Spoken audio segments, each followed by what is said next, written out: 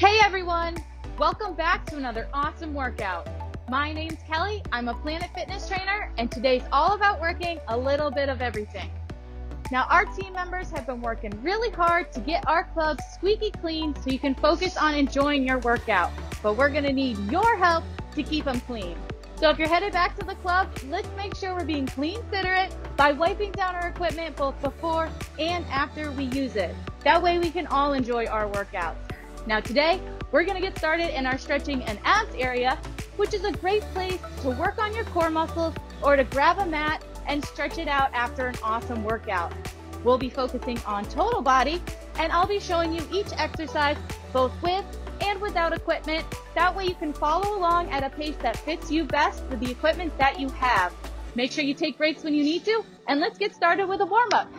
So for our warm up, we're gonna start with some jumping jacks, all right? Now, if you want to substitute the jumping jacks for something easier, you can simply step to the side with the arms, okay? So pick whichever one fits you best. We're going for 40 seconds, all right? So if you want to side step a little bit slower, go ahead. We're just warming up the body. Or if you're doing the full jumping jacks, go ahead. We're going to get that heart rate going.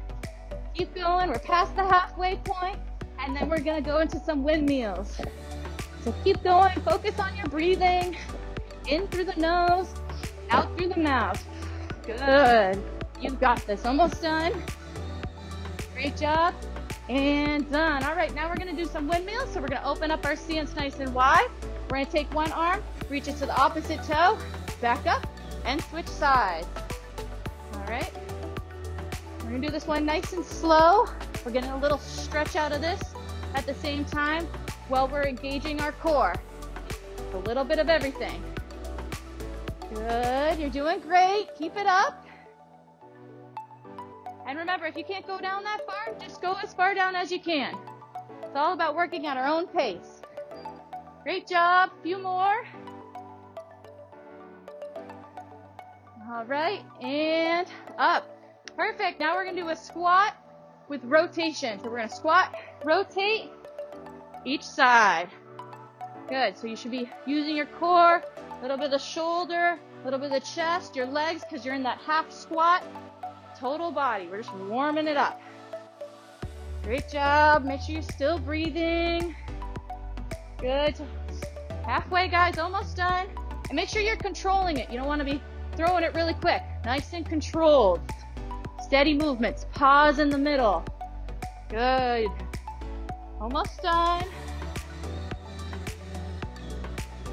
Great job, guys. One more. And done. Great. So now we're going to start with a squat curl to overhead press. So I'll show you this with the weights and without the weights. We're going to be going for 40 seconds. So we're going to have our feet shoulder width apart, toes straight ahead. We're going to start by squatting. Then we're going to curl. Bring our arms out so elbows are at 90 degrees.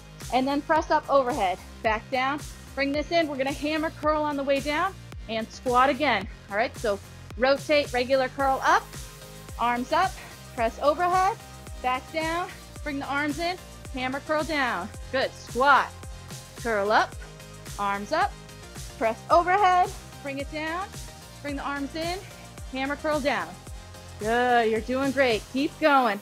And if you don't have weight, it's gonna look just the same. So you're gonna squat, curl, up to 90, press overhead, down, back, down. Same exact thing. If you're at home and you have soup cans or water bottles, feel free to substitute those for weights, or you can do it just with your body weight. And done. Now we're gonna do a floor press.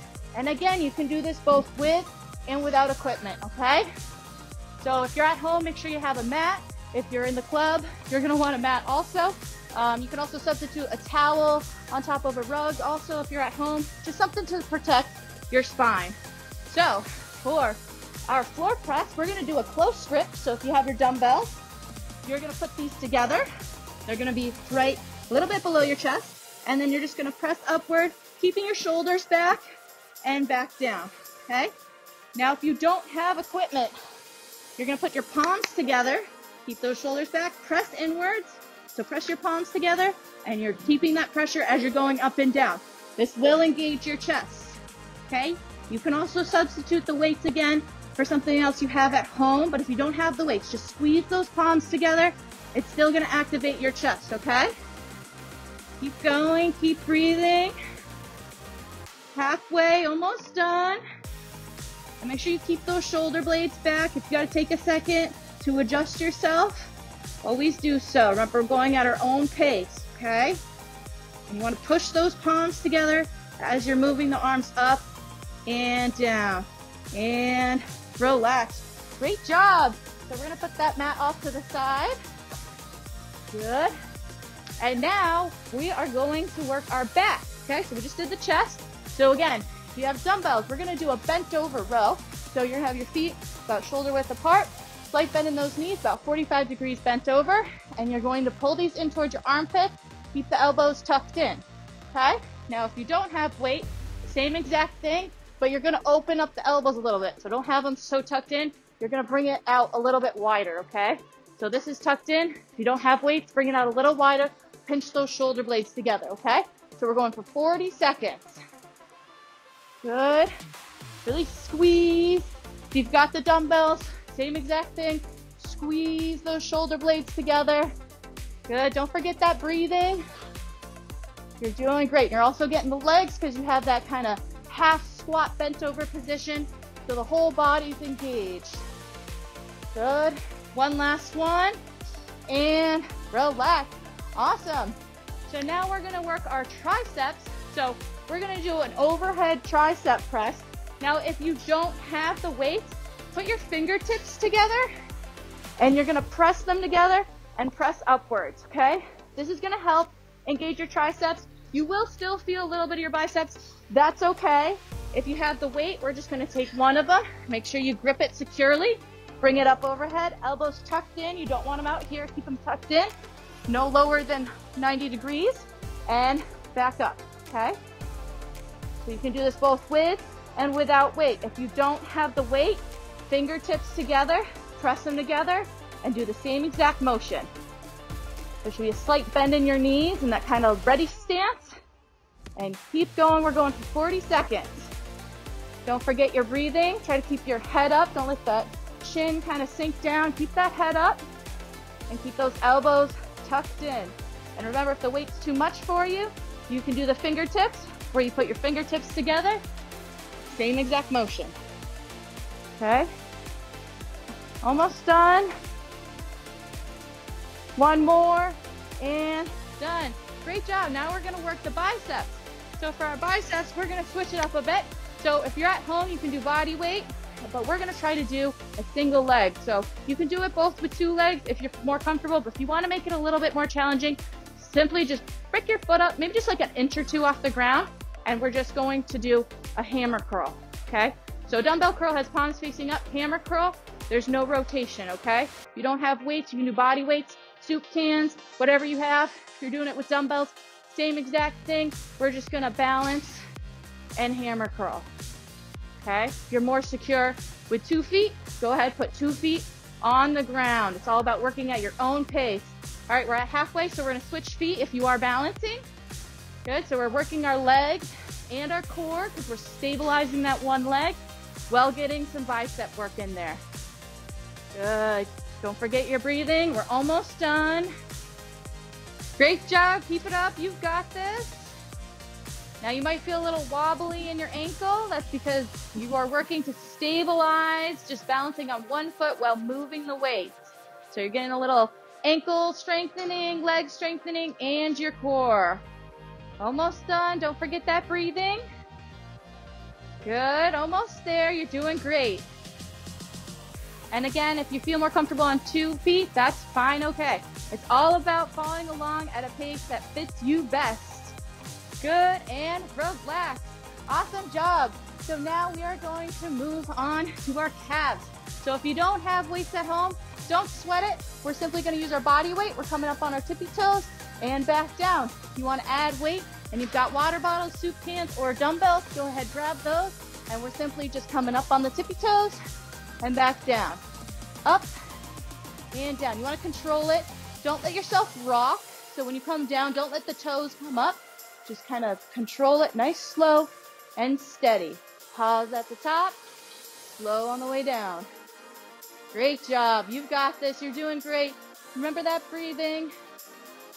Good. If you want to make this more challenging, go ahead and try to just do one leg. It's going to be a little harder.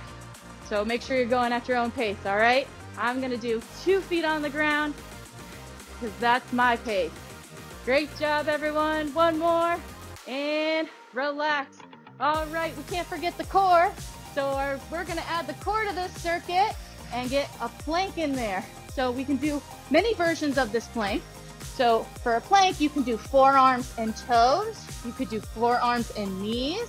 You could do straight arms and knees or straight arms and toes. You just want to make yourself flat like a board, engage the core, and I'm going to show you modification if you want to make it a little harder, okay? So we're just holding, and if you want to make it harder, you can add the side dip, where you're going to dip your hip to one side, center, then the other side, center. Okay, so that's if you want to make it harder. You want to make it easier, just hold, even easier. Go ahead and go down to your knees. All right, we're just holding this for 40 seconds. Take breaks if you need to. If you need to grab some water, catch your breath, stretch your shoulders out, feel free to take that break. You're doing awesome. We're gonna run through this again, so we'll get a second go at this. Good. Keep that whole body tight. Almost there.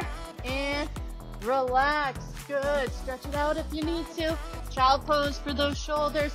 Cobra pose for the stomach. All right, guys. Let's take a second and grab some water because we're going to run through that circuit one more time. All right? All right. Good job, everyone. All right. So let's start with that squat curl to press. Feet shoulder width apart. And we are going to squat, rotate, curl up, arms to 90 degrees, press up overhead, back down, bring the arms in, hammer curl down, and squat, rotate, up, arms to 90 degrees, press overhead, back down, arms in, hammer curl down, great. Keep going. And remember, you can do the same thing with water bottles, soup can, or with no weights at all. Good, and squat, rotate, curl, arms to 90 degrees, press overhead, back down, bring it in, hammer curl down. Great job, everyone. Let's keep going a few more. Good. We'll make this our last one. And hammer curl down. Great job, everyone. All right, let's get that chest. So we're gonna grab that mat again. And remember, you can do this with or without weight. So if you don't have weight at home, you're gonna press your hands together. So take a second, set those shoulders nice and back, palms together, press inward, and then arms out and arms back in. If you've got weights, we're gonna put those weights together. Okay? Press up and back in. Those weights should be touching. Leave a little bend at the elbow at the end. Slow on the rebound. Good. And don't forget that breathing. You're doing great. Pause at the top. Slow on the rebound. Pause at the top. Slow on the rebound. Good. If you need to take a second, set those shoulders back, do so. Sometimes those shoulders start to wander. That's okay. One last one and relax. Great job, everyone. So let's put that mat aside because we're going to do some bent over rows. Okay. All right. And again, if you don't have weight, feet shoulder width apart, slight bend in the knees. You're going to bring your arms out a little bit to the side, so a little bit wider. If you have the weights, tuck them in a little closer, okay? All right, ready? 40 seconds. Let's go. Good. So you should kind of have like 45 degrees bent over, slight bend in those knees, and squeeze those shoulder blades. And squeeze them like as if there's a acorn in between them and you're trying to break it. And pause, slow on the rebound. And pause at the top, slow on the rebound. Good. You're going to feel this in your legs because you're also stabilizing this bent over position. So you're doing a great job. Good. And remember, if you don't have those weights, just open up the stance a little bit and you're just bringing those arms out a little bit wider. Same thing. Okay. Good. One more. Really squeeze and relax. Great job. So let's get those triceps. Again, feet shoulder width apart. If you don't have weights, fingertips together. Overhead. We're coming down to 90 degrees. Back up and back down. All right. If you have the weight, You're gonna grip it securely with two hands, bring it up overhead, elbows tucked in, and up. Okay, same exact thing, just with the weight. If you don't have the weight, press those fingertips together. It's gonna help you activate it. Good. We're working those triceps. You might feel a little biceps also, that's okay, because your biceps are helping to decelerate the movement. Good. Don't forget that breathing. In through the nose, out through the mouth. Good. You're doing great. One more. And bring it back down. Awesome job. So let's get those biceps. So again, you can do this with two feet on the ground. You can hover one. You want to get more of that total body effect. And you can do it with or without weights. So if you don't have weights, you're just going to do move the arms, okay? Maybe kind of clench the fist just a little bit lightly. We're not making a really hard grip, just a light grip. Good. And if you want to do it on two feet, that's fine, okay? And if you've got the weight, same thing, just with the weights. Keep those shoulders set nice and back. Core engaged, slight bend in those knees. All right, we're pausing at the top, slow on the rebound. Pause at the top, slow on the rebound. Good.